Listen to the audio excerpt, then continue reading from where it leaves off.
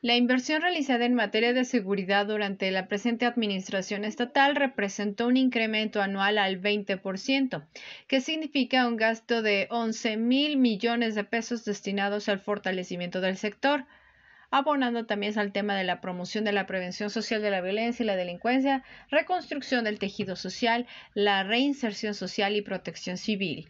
También se incrementó en alrededor del 23% el equipamiento para las tareas relativas a la seguridad, cambios y mejoras significativas en infraestructura, donde destaca la construcción de la nueva Academia para la Policía Estatal.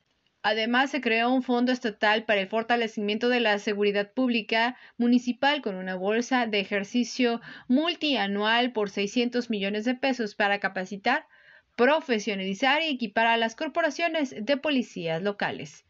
TV4 Noticias.